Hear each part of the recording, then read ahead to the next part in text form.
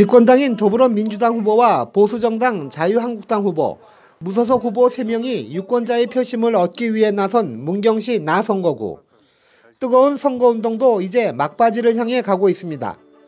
김경숙 후보는 여당 시의원으로서 지역 발전을 이끌겠다고 밝히고 있고 서정식 후보는 자유한국당의 명맥을 잇는 준비된 후보임을 강조하고 있습니다. 정말 문경에서 일할 수 있는 사람, 일할 수 있는 여자, 정말 일하고 싶어 몸살 난 사람, 이러한 사람을 뽑아 주십시오. 저 김경숙이 정말 잘할 수 있습니다.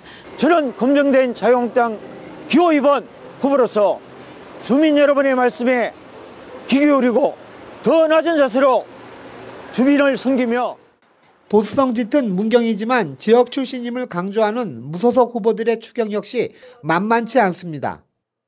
반드시 저같이 경험이 있는 사람 그리고 준비된 후보 그리고 검증된 후보를 찍어서 우리 문경시의 발전을 한 걸음 더 높일 수 있도록 저 젊은 정치 신인 젊은 시각에서 다양하고 새롭게 시정을 도우겠습니다. 이제는 새롭게 발전할 수 있는 문경의 씨앗이 될 수 있는 기회를 압도적인 지지로 여러분의 강력한 힘을 저에게 심어 주십시오. 오전편 벚꽃 피듯 우리 모든 희망을 활짝 피워드리겠습니다. 지난해 3명의 시의원을 뽑은 문경시 나선거구. 당시 당선자는 자유한국당 2명, 무소속 1명이었습니다. 하지만 5개월 만에 자유한국당 모 의원이 건강상의 이유로 사직해 이번 선거를 치르게 됐습니다. 이번 출마자들은 신성호 후보를 제외하고는 모두 한 차례 낙선의 고배를 경험하기도 했습니다.